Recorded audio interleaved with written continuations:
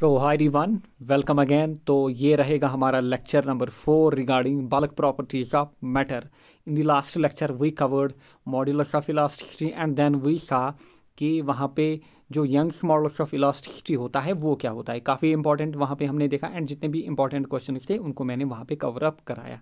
तो ये वाले लेक्चर में यहाँ पे हम देखेंगे एक तो bulk modulus of elasticity then हम देखेंगे शेयर मॉडल्स ऑफ़ रिजिडिटी तो यहाँ पे जो मॉड्यूलस ऑफ़ इलास्टिसिटी है ना डिफरेंट टाइप वो कवर अप हो जाएँगे। एंड यहाँ पे मैं आपको एक बात मेंशन करूँ कि नीट एंड जे जो होता है ना यहाँ पे जो क्वेश्चन आते हैं उनमें कई क्वेश्चन एट लीस्ट जो सेवेंटी परसेंट क्वेश्चन होते हैं ना उनमें मल्टी कॉन्सेप्ट इन्वॉल्व होता है। लाइक like, जो आज यहाँ पे हम पढ़ेंगे bulk modulus of elasticity topic पढ़ने के बाद आपके कुछ क्वेश्चन नहीं बनेंगे। हाँ क्यों नहीं बनेंगे? क्योंकि उनमें जो डिफरेंट टॉपिक्स हैं ना लाइक मैं कहूँगा बल्क मॉडल्स में फ्लूड मैकेनिक्स इन्वॉल्व है एंड साथ ही में यहाँ पे जो थर्मल एक्सपेंशन हम पढ़ेंगे आने वाले चैप्टर्स में तो वो भी इन्वॉल्व है। जब तक ना आपके पूरे कॉन्सेप्ट क्लियर होंगे ना, तब तक क्वेश्चन कुछ question almost sixty to seventy percent question नहीं बनते। इसलिए जो, ये जो नीट या फिर जे का पेपर फ्रेम होता है ना, यहाँ पे आपके कॉन्सेप्ट जो है ना, वो काफ़ी क्लियर होने चाहिए। ना कि टॉपिक के रिलेटेड एंड उस टॉपिक के रिलेटेड जितने भी इंपॉर्टेंट टॉपिक है ना, उनको भी क्लियर करना होता है। तो चलिए यहाँ पे हम स्टार्ट करेंगे अपने लेक्चर को। यहाँ पे हम देखेंगे modulus of elasticity number two यानी कि बल्क मॉडल्स ऑफ़ इलास्टिसिटी काफ़ी इंपॉर्टेंट तो अब बल्क मॉडल्स ऑफ़ इलास्टिसिटी होता क्या है? तो ये होता है बल्क मॉडल्स ऑफ़ इलास्टिसिटी होता है normal stress upon volumetric strain या फिर हम बोलते हैं hydraulic stress upon volumetric strain तो यहाँ पे आप हाइड्रोलिक को यहाँ पे काट दीजिएगा एंड यू विल राइट यहाँ पे normal stress upon volumetric strain normal stress हमने पढ़ा था। क्लियर नॉर्मल स्ट्रेस हमने पढ़ा था। एक्चुअली ये जो हाइड्रोलिक यहाँ पे इन्वॉल्व है, ये इन्वॉल्व होता है कहाँ पे? फ्लूड्स में। बट अभी आप जो प्रॉपर डेफिनेशन है ना यहाँ पे, वो आप लिखेंगे बल्क मॉडल्स जो होता है that is normal stress upon volumetric strain अब यहाँ पे मैं आपको समझाता हूँ। देखो बेटा, यहाँ पे मैंने ली कोई थ्री फिगर क्लियर यहाँ पे थ्री फिगर मैंने ली, क्योंकि ये जो बल्क मॉडल्स ऑफ़ इलास्टिसिटी होगा, इसको हम देखेंगे कहाँ पे थ्री में, क्योंकि लेट ये मैं मानूँगा, ये है लेंथ ये है ब्रेडथ यहाँ पे एंड ये है हाइट यहाँ पे एक क्यूब की क्लियर तो देखिए बेटा अब ये क्यूब है ना, इस पे मैं यहाँ पे लोडिंग अप्लाई करूँगा। इस साइड में यहाँ पे कुछ फोर्स अप्लाई करूँगा, या फिर लोड लगाऊँगा। यहाँ से भी लोड या फोर्स इस साइड में तो हर एक साइड में आपको क्या करना है? यहाँ पे फोर्स अप्लाई करना है। क्या करना है? फोर्स अप्लाई करना है। यानी कि एक क्यूब है, आप हर साइड में इसको क्या करोगे? इसको दबाओगे। तो ये क्या होगा? ये क्यूब में क्या होगा? ये क्यूब में जो वॉल्यूम है ना, वो चेंज हो जाएगी। यानी कि अगर मैं इस पर कंप्रेसिव फोर्स अप्लाई कर रहा हूँ तो इस क्यूब में क्या होगा? जो वॉल्यूम है ना, वो चेंज हो जाएगी। यानी कि ये क्यूब अब इतना छोटा बनेगा, जो मैंने यहाँ पे ब्लू में बनाया। तो पहले ये इतना था रेड वाला। अब जब इस पर हर साइड में फोर्स पड़े तो ये कितना बना? पहले ये इतना था, अब ये इतना बना छोटा। तो यहाँ पे वॉल्यूम चेंज आई। तो ये नई वॉल्यूम यहाँ पे निकलेगी, क्योंकि यहाँ पे नया एल यहाँ पे बी यहाँ पे एच तो यहाँ पे वॉल्यूम चेंज हुई। किसके कारण? नॉर्मल स्ट्रेस नॉर्मल स्ट्रेस कहाँ पे? जब हमने यहाँ पे फोर्स अप्लाई किया तो यहाँ पे एरिया था तो उसमें फोर्स अपॉन एरिया तो वो क्या हुआ? स्ट्रेस यानी कि स्ट्रेस के कारण यहाँ पे मटेरियल की जो वॉल्यूम है ना वो चेंज हुई यानी कि वॉल्यूम जो है ना यहाँ पे वो डिक्रीज हुई यानी कि अगर हम कंप्रेसिव फोर्स लगाएँगे हर साइड में याद रखना है आपको अगर हम कंप्रेसिव यानी कि फोर्स लगा रहे हैं यानी कि मटेरियल को हम दबा रहे हैं तो वॉल्यूम जो है ना वो डिक्रीज होगी। बट अग, अगर हम यहाँ पे टेंसाइल स्ट्रेस लगा रहे हैं तो जो वॉल्यूम है ना वो इंक्रीज होगी। क्लियर तो यहाँ पे वॉल्यूम डिक्रीज हुई। तो यही हम देखेंगे यहाँ पे। देखो बेटा। ये है क्यूब इनिशियली यह है क्यूब की इनिशियल शेप अब देखो यहाँ पे, जो डॉटेड आपको दिख रही है, यह है इनिशियल शेप फिर जब हमने यहाँ पे कंप्रेसिव फोर्स हर साइड में लगाए क्यूब पे, देखो इनिशियली क्यूब कितना था? इतना। जब हमने हर साइड क्यूब पे क्या लगाए? कंप्रेसिव फोर्स उन कंप्रेसिव फोर्स के कारण स्ट्रेस जनरेट हुए। तो वो क्या बने? कंप्रेसिव स्ट्रेस एंड देखो, ये जो है ना क्यूब ये कितना दब गया यहाँ पे कंप्रेस हो गया। तो इसमें वॉल्यूम जो जो है ना वो चेंज हुई। एंड चेंज क्या हुई? यहाँ पे वॉल्यूम जो है ना वो डिक्रीज हुई। क्लियर तो यही होता है बल्क मॉडल्स यानी कि normal stress upon volumetric strength तो चलिए यहाँ पे हम देखते हैं इसको डिराइव करके, या फिर शॉर्ट में इसी फॉर्मूला हम देखते हैं। Clear normal stress upon volumetric strain clear तो देखो बेटा, मैंने बोला बल्क मॉडल्स जो होता है that is normal stress upon volumetric strain clear अब नॉर्मल स्ट्रेस कोई भी stress normal stress shear stress formula क्या रहती है? फोर्स अपॉन एरिया क्लियर यानी कि स्ट्रेस की जो फॉर्मूला है that is force upon area volumetric strain यानी कि चेंज इन वॉल्यूम जब मैंने आपको स्ट्रेन पढ़ाया था, यानी कि change in volume divided by original volume, यानी कि डेल्टा वी अपॉन वी तो ये बनी है फार्मूला फॉर बल्क मॉडल्स यानी कि normal stress upon volumetric strain force by area divide by delta V upon V clear अब जो यहाँ पे मैं लिखूँगा नेगेटिव जो चेंज इन वॉल्यूम है ना डेल्टा वी तो I will write delta V के आगे यहाँ पे नेगेटिव अब नेगेटिव क्यों? आपने देखा, जो यहाँ पे वॉल्यूम है ना, वो डिक्रीज हो रही है. क्या हो रही है? यहाँ पे जो वॉल्यूम है ना, वो डिक्रीज हो रही है. तो जहाँ पे नेगेटिव साइन आएगा, आपको ये समझना है कि यहाँ पे जो वॉल्यूम है ना, वो डिक्रीज हुई है. क्लियर बाकी कुछ नहीं है. देखो बेटा आई कैन राइट इट जो फोर्स अपॉन एरिया है ना इसको अपन लिखेंगे यहाँ पे प्रेशर भी, क्योंकि I can write it as stress और प्रेशर तो क्योंकि प्रेशर भी होता है force upon area and stress भी होता है force upon area I have already mention you the difference between the two तो यहाँ पे I can write P and यहाँ पे negative times delta V upon V अब वी को ऊपर ले जाओ तो ये क्या बनेगा? बी यहाँ पे बनेगा P into V divided by delta V and ये आएगा यहाँ पे नेगेटिव कॉमन में। तो ये वाली एक्सप्रेशन भी करेक्ट है। चाहे आप ये वाली एक्सप्रेशन लो, या फिर ये नीचे वाली, दोनों यहाँ पे करेक्ट हैं। यानी कि बल्क मॉडल्स जो होता है that is normal stress upon volumetric strength that is force upon area divide by delta V upon V that is P divide by delta V upon V या फिर we can write it P into V divide by delta V clear I hope आपको clear हुई होगी। तो देखो same यहाँ पे भी रिटर्न है F by A upon delta V upon V यहाँ पे देखो, फिर P V divide by delta V upon V फिर negative times P V upon delta V जो आपको मैंने दिखाया क्लियर तो नेगेटिव साइन क्या शो करा है यानी कि यहाँ पे विद इंक्रीज इन प्रेशर या फिर विद इंक्रीज इन फोर्स या फिर विद इंक्रीज इन स्ट्रेस यहाँ पे जो वॉल्यूम है ना, वो क्या हो रही है? वो डिक्रीज हो रही है क्लियर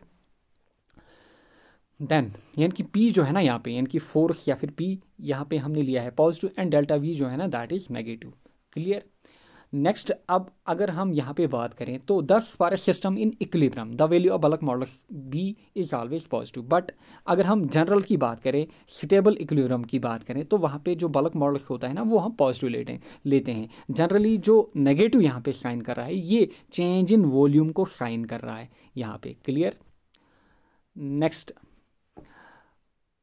मैंने आपको मेंशन किया bulk modulus of elasticity B अब अगर हम देखें कंप्रेसिबिलिटी को, मैंने आपको बोला मटेरियल में क्या हो रहा है? मटेरियल यहाँ पे कंप्रेस हो रहा है। अब कंप्रेसिबिलिटी एंड जो बल्क मॉडल्स हैं ना, इनके बीच रिलेशनशिप है। क्या है? रिलेशनशिप यहाँ पे रिलेशनशिप जो है ना, आपको याद क्या रखना है? आपको याद रखना है, जो कंप्रेसिबिलिटी होती है ना that is inversely proportional to या फिर that is reciprocal bulk modulus of elasticity यानी कि इन शॉर्ट जो कंप्रेसिबिलिटी होती है that is one upon B क्या होती है? वन अपॉन बी यानी कि जो कंप्रेसिबिलिटी होती है that is one divided by B यानी कि बी क्या है यहाँ पे? बल्क मॉडल्स ऑफ़ और रिजिडिटी एंड अभी हमने देखा यहाँ पे जो बी होता है वो क्या था? बी हमने देखा, वो निकला negative P V upon delta V अब अगर हम यहाँ पे कंप्रेसिबिलिटी देखें तो कंप्रेसिबिलिटी क्या आएगी?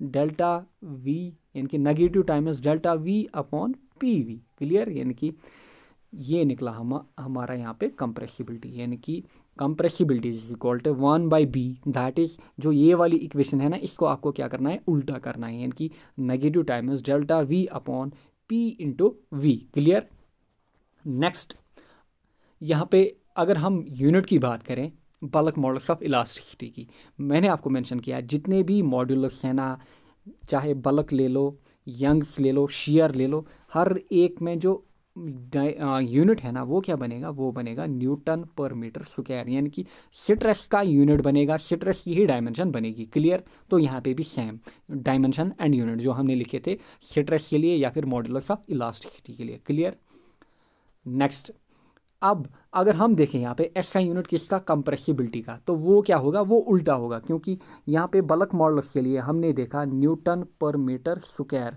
but जो कंप्रेसिबिलिटी के लिए होगा, वो क्या होगा?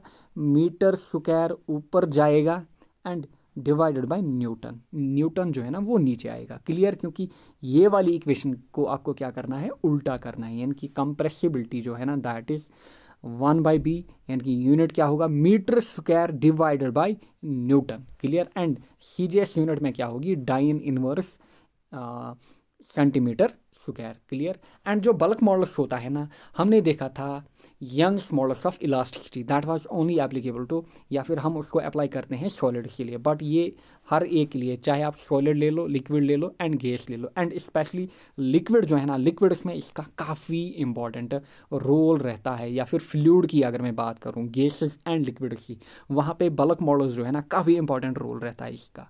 क्योंकि अगर हम बात करें परफेक्टली रिजिड बॉडी की तो उसके लिए ये बनता है इनफाइनाइट क्योंकि जो चेंज इन वॉल्यूम होता है for a rigid body that is zero clear तो ये आपको याद रखना है। नेक्स्ट यहाँ पे अगर हम बात करें सॉलिड लिक्विड एंड गैस की तो जो बल्क मॉडल्स होता है ना, कभी आपको ऑर्डर पूछा जाएगा कि यहाँ पे ट्रू ऑर्डर मेंशन कीजिए कि बल्क मॉडल्स किन के लिए हाईएस्ट है एंड किन के लिए यहाँ पे लोअर है। तो अगर आप देखोगे बल्क मॉडल्स क्या होता है? बल्क मॉडल्स होता है बेटा P into V divide by delta V यानी कि चेंज इन वॉल्यूम अब, यहाँ पे बी एंड डेल्टा वी जो है ना, इनके बीच में जो रिलेशन है ना दैट इज़ इनवर्स रिलेशन यानी कि जितना बी का वैल्यू बढ़ेगा क्लियर यानी कि उतना डेल्टा वी का वैल्यू क्या होना चाहिए? कम. यानी कि अगर बल्क मॉडल ज़्यादा तो वॉल्यूम चेंज जो है ना, वो कम होनी चाहिए। यानी कि अगर कोई मटेरियल वॉल्यूम चेंज को रजिस्ट कर रहा है तो उसमें जो बल्क मॉडल्स है ना, वो ज़्यादा होगा, क्योंकि चेंज इन वॉल्यूम कम होगा। इसीलिए जो बल्क मॉडल्स है ना सोलिड के लिए ग्रेटर होगा in comparison to liquid in comparison to gas क्योंकि सॉलिड में जो वॉल्यूम चेंज है ना, वो काफ़ी कम होगा इन कंपैरिजन टू लिक्विड या फिर गैस के कंपैरिजन में। क्लियर नेक्स्ट यहाँ पे जो बल्क मॉडल्स होता है ना, गैस के लिए, ये दो टाइप का होता है। एक होता है isothermal bulk modulus and then next होता है एडियाबैटिक बल्क मॉडल्स इनको हमें देखना है, जब हम आइडियल गैस इक्वेशन पढ़ेंगे ना, उनको, इन, इनको हम देखेंगे आइसोथर्मल कंडीशन एडियाबैटिक कंडीशन इनको हम वहाँ पे डेप्थ में देखेंगे। जब हम P V salt N R T equation देखेंगे, वहीं पे हम इनको देखेंगे एंड वहीं पे हम देखेंगे सी पी सी वी यानी कि specific heat capacity at constant pressure and specific heat capacity at constant volume ये क्या होते हैं, काफ़ी इंपॉर्टेंट रेशो रहता है वहाँ पे डिफरेंट पेपर्स में पूछा जाता है।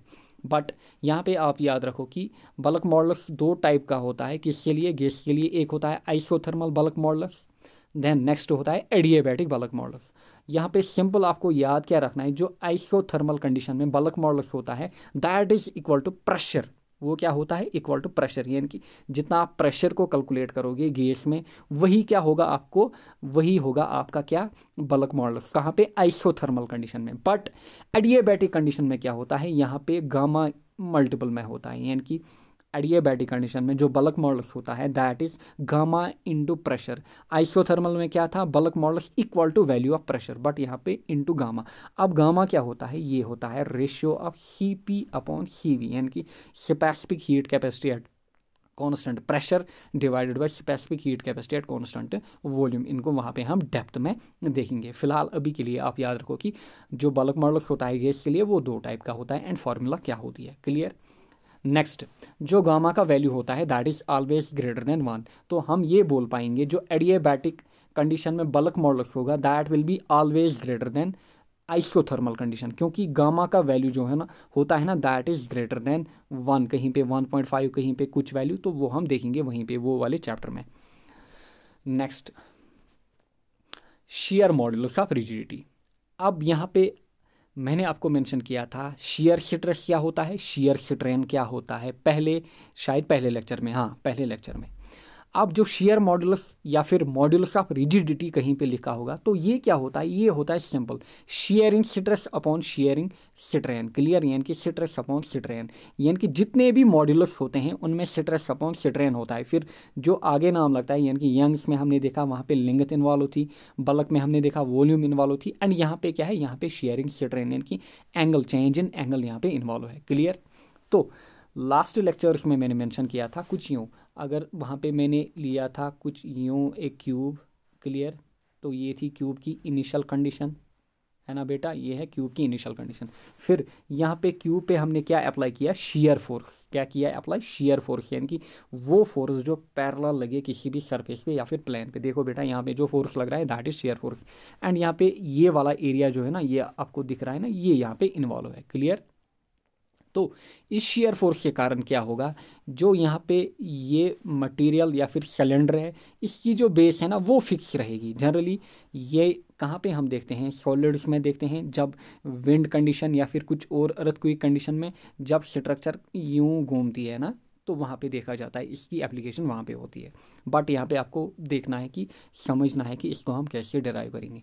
तो ये है यहाँ पे शेयर फोर्स लग रहा है, ये यहाँ पे एरिया ऑफ़ एप्लीकेशन यहाँ पे इन्वॉल्व है। एंड फिर देखो बेटा, ये जो बेस है ना, ये यहीं रह रही है। यानी कि यहाँ पर जो बेस है ना, ये सेम जगह पर रह रही है। देखो बेटा, यहाँ पर ये वाली बेस जो आपको दिख रही है ना, ये है स्टैटिक यानी कि मटेरियल देखो कुछ यूँ घूम रहा है। यानी कि जो बेस है ना या फिर फाउंडेशन वो अपनी जगह रह रही है बट मटेरियल कुछ यूँ टिल्ट कर रहा है. क्लियर अब ये जो यहाँ पे चेंज हुई ना, क्योंकि मटेरियल इनिशियली यूँ था, अब मटेरियल यूँ घूमा. क्लियर तो ये जो यहाँ पे चेंज है ना, या फिर हम बोलेंगे एंगल थीटा यही हमको निकालना है। यही होता है स्ट्रेन यहाँ पे। क्लियर यानी कि टेन ऑफ़ थीटा हम यहाँ पे निकालते हैं शेयरिंग स्ट्रेन को। फिर टेन ऑफ़ थीटा यहाँ पे क्या निकल के आया या फिर शेयरिंग स्ट्रेन वो निकल के आया delta X upon L clear delta X upon L clear क्योंकि ये एंगल आपको देखना है। Perpendicular upon base clear delta X upon L and यहाँ पे जो फोर्स लग रहा है that is shear force and area involve है ए तो हम बोलेंगे शेयर स्ट्रेस ये वाले फेस पे डिवाइडेड बाय यहाँ पे शेयरिंग स्ट्रेन तो that is shearing stress divide by shearing strain यानी कि F by A divide by theta वो क्या होगा? एफ़ ए बाई थीटा यानी कि थीटा क्या है यहाँ पे? डेल्टा एक्स अपॉन एल तो एल ऊपर गया, वो बनेगा F L divide by A into delta X ये बना यहाँ पे shear modulus of rigidity clear I hope आपको ये क्लियर हुआ होगा। एंड जो शेयर मॉड्यूलस होता है it is only defined for solids clear and अगर मैं यहाँ पे आइडियल लिक्विड या फिर आइडियल फ्लूड की बात करूँ, जो शेयर मॉड्यूलस होता है that is zero clear that is zero and जो शेयर मॉडल्स ऑफ़ रिजिडिटी होता है that is generally less than young's modulus of young's modulus of elasticity, जो यंग्स मॉडल्स हमने देखा था, उसके कंपैरिजन में ये जनरली क्या होता है? कम होता है या फिर छोटा होता है। इसलिए सॉलिड्स में ज़्यादा सिग्निफिकेंस किसकी है? यंग्स मॉडल्स ऑफ़ इलास्टिसिटी की। क्लियर वहाँ पे मैंने आपको डिफरेंट वैल्यूज़ भी दिए थे एंड आपको जनरली याद रखना है स्टील का। क्लियर स्टील एंड रबर या फिर वहाँ पे और कुछ जो इंपॉर्टेंट मैंने मेंशन किए थे जनरली आप स्टील का वैल्यू याद रखिए। स्टील के लिए वैल्यू था two into ten raise power five clear two into ten raise power five अब यहाँ पे अगर हम देखें जनरली जो शेयर मॉड्यूलस ऑफ़ रिजिडिटी होता है that is one third of that is one third of young's modulus of elasticity तो यहाँ पे स्टील के लिए अगर यंग्स मॉडल्स ऑफ़ इलास्टिसिटी निकला two into ten raise power five तो अगर हम जी यहाँ पे निकालें स्टील का तो वो क्या बनेगा? जी यहाँ पे बनेगा two into ten to the power five divided by three यहाँ पे हम डिवाइड करेंगे थ्री क्लियर डिवाइड करेंगे हम थ्री तो आई होप ये चीज़ें आपको क्लियर हुई होगी. शेयर मॉडल्स हमने देखा. यहाँ पे क्या होता है? एंड इसको कंपेयर किया विद मॉडल्स ऑफ़ यहाँ पे bulk young's modulus of elasticity and हमने देखा जो यंग्स मॉडल्स ऑफ़ इलास्टिसिटी होता है that is three times greater than shear modulus या फिर शेयर मॉडल्स होता है three times lesser than young's modulus clear ये चीज़ें आपको क्लियर हुई होगी। नेक्स्ट देखते हैं यहाँ पे कुछ आए हुए क्वेश्चन तो मॉड्यूलस ऑफ़ रिजिडिटी यहाँ पे देखो मॉडल्स ऑफ़ रिजिडिटी वो हमने देखा। अभी देखो पहला option then option B C D यहाँ पे आप खुद करो, यहाँ पे क्वेश्चन का पास लो एंड खुद करो। तो मैं यहाँ पे अब आंसर करता हूँ। तो ये बनेगा shear stress upon shearing strain या फिर shear strain next the ratio of normal stress to the volumetric strain तो वॉल्यूम वॉल्यूम कहाँ पे इन्वॉल्व थी? वॉल्यूम थी इन्वॉल्व कहाँ पे? बिल्कुल हाँ bulk modulus of bulk modulus of elasticity में clear next the ratio of shearing stress to shearing strain within elastic limit तो शेयरिंग स्ट्रेस शेयर कहाँ पे इन्वॉल्व था मॉडल्स ऑफ़ रिजिडिटी में। तो शेयर मॉडल्स ऑफ़ यहाँ पे देखते हैं शेयर मॉडल्स ऑफ़ इलास्टिसिटी या फिर शेयर मॉडल्स ऑफ़ रिजिडिटी में। क्लियर नेक्स्ट पहले टॉपिक के रिलेटेड है यहाँ पे। Which of the following is a dimensionless quantity यानी कि डायमेंशन कहाँ पे हैं? नहीं है? या फिर हम बोलेंगे यूनिट लेस क्योंकि यूनिट लेस या डायमेंशन लेस यहाँ पे सेम होगा। तो शेयर फोर्स हमने देखा ऑलरेडी शेयर फोर्स में डायमेंशन होंगे, बिल्कुल होंगे न्यूटन होंगे। यूनिट न्यूटन होगा एंड न्यूटन के ही डायमेंशन होंगे। सिट्रस में भी होंगे। फिर यहाँ पे सिट्रेन सिट्रेन क्या होता है? चेंज इन डायमेंशन यानी कि delta X upon delta X या फिर डेल्टा एल अपॉन एल तो सिट्रेन जो होती है that is dimensionless and modulus of elasticity जो हमने देखे, तीनों तीनों में एक ही डायमेंशन एंड एक ही यूनिट है। तो सिट्रेन जो होती है दैट इज़ यूनिट लेस क्योंकि ऊपर भी लेंथ एंड नीचे भी लेंथ एंड लेंथ और लेंथ यहाँ पे कट यहाँ पे आएगा वन, यानी कि यूनिट यहाँ पे इन्वॉल्व नहीं होता है। नेक्स्ट यहाँ पे नीट का क्वेश्चन देखते हैं, काफ़ी इंपॉर्टेंट क्वेश्चन है। द बल्क मॉडल ऑफ़ है स्फेरिकल ऑब्जेक्ट क्लियर यहाँ पे आपको स्फेरिकल ऑब्जेक्ट दिया गया है या फिर कोई स्फेरिकल सिलेंडर दिया गया है। इसका क्या बोल रहा है? बल्क मॉडल्स जो है ना दैट इज़ बी यहाँ पे आपको गिवन है bulk modulus if it is subject to uniform pressure her side में इस पर क्या लग रहा है? यूनिफॉर्म प्रेशर कितना? P the fractional decrease in radius यानी कि रेडियस जो है ना, उसमें जो फ्रैक्शनल डिक्रीज होती है ना यानी कि मैं बोलूँगा डेल्टा आर अपॉन आर, यानी कि ये हमें निकालना है, the fractional decrease in radius, जो होगा स्फेरिकल बॉडी में, वो कितना होगा, यही हमें निकालना है। एंड यहाँ पे डिक्रीज बोल रहा है तो ये क्या होगा नेगेटिव टाइम्स अब हमें ये देखना है, ये कैसे हम निकालेंगे। बड़ा सिंपल फंडा है, आपको क्या करना है जनरल जो फॉर्मूला है ना, वो पुट करनी है यहाँ पे बल्क मॉडल्स की। तो हमने देखा पहले, जो बल्क मॉडल्स होता है that is negative P V upon delta V clear P V upon delta V अब यहाँ पे आपको दिया गया है सिलेंडर सिलेंडर की वॉल्यूम कितनी होती है? Four by three pi R cube clear हमें क्या निकालना है? डेल्टा आर अपॉन आर अब मैं डेल्टा आर कैसे यहाँ पे निकालूँ? सिंपल है. डिफ्रेंशिएशन कर दो यहाँ पे. डेल्टा वी या फिर डी वी तो जब मैं यहाँ पे वॉल्यूम की डिफ्रेंशिएशन करूँ, ध्यान रखो यहाँ पे, डेल्टा वी क्या होगी? फोर अपॉन थ्री पाई, क्योंकि कांस्टेंट है four by three and pi भी कांस्टेंट है। आर क्यूब आर क्यूब की क्या बनेगी? Three R square, clear? Three R square. Into अभी, क्योंकि आर भी है ना यहाँ पे इंटू बनेगा यहाँ पे डेल्टा आर क्लियर? या फिर आप लिख पाओगे डी आर यहाँ पे आप लिखो डी वाई डेल्टा वाई की जगह एंड डेल्टा आर की जगह D R that is also true जैसे आपको अच्छा लगे. क्लियर अब देखो बेटा, ये और ये वैल्यू जो है ना, इनको मैं पुट करूँगा कहाँ पे? इक्वेशन नंबर वन जो इक्वेशन नंबर वन है ना, यहाँ पे मैं इन दोनों को क्या करूँगा? पुट करूँगा. क्लियर अब देखते हैं इक्वेशन नंबर वन में इनका वैल्यू पुट करके. बी बनेगा यहाँ पे नेगेटिव टाइम्स पी अब वॉल्यूम की जगह क्या हम लिखेंगे? Four by three pi R cube clear divided by यहाँ पे, देखो। Delta V delta V four by three into pi into three R square into यहाँ पे डेल्टा आर क्लियर इंटू यहाँ पे delta R let me change the colour तो four by three, four by three खत्म, pi यहाँ पे खत्म, pi यहाँ पे खत्म, यहाँ पे आर क्यूब, बचा क्या यहाँ पे आर, क्योंकि यहाँ पे आर स्क्वायर खत्म, ऊपर बचेगा आर, क्लियर? यानी कि मैं अगर ऐसे लिखूँ, अब पी इंटू ऊपर क्या बचा? आर, नीचे क्या बचा? थ्री इंटू डेल्टा आर, बाकी सब खत्म, equal to B equal to B तो देखो बेटा यहाँ पे बी निकला हमारा, negative P into R divide by three into delta R हमें क्या निकालना है? Delta R upon R. तो आई कैन राइट यहाँ पे, देखो, अब मैं यहाँ पे लिखूँगा। आई कैन राइट यहाँ पे, डेल्टा आर को इस साइड ले जाओ। क्लियर तो I can write it delta R और ये आर को नीचे लाओ। तो ये बनेगा divide by R delta R upon R. Equal to ऊपर क्या बचा? पी एंड ये जो नेगेटिव है ना, इसको लेफ़्ट हैंड साइड में ले जाओ, यहाँ पे। क्लियर लेफ़्ट हैंड साइड में पी अब नीचे क्या बचा यहाँ पे? एक तो बचा थ्री एंड ये जो बी है ना, इसको राइट साइड में ले जाओ तो ये आएगा डिवाइड में तो ये निकला हमारा। पी अपॉन थ्री बी यानी कि negative delta R upon R निकला पी अपॉन थ्री बी तो देखते हैं कोई ऑप्शन होता है या फिर नहीं। तो पी अपॉन थ्री बी तो ऑप्शन नंबर सी यहाँ पे मैच कर रहा है। तो ऑप्शन नंबर सी यहाँ पे करेक्ट रहेगा ये वाले क्वेश्चन के लिए। एंड ये आया था ट्वेंटी सेवनटीन में। आई होप ये चीज़ें आपको यहाँ पे क्लियर हुई होगी। करना कुछ नहीं था।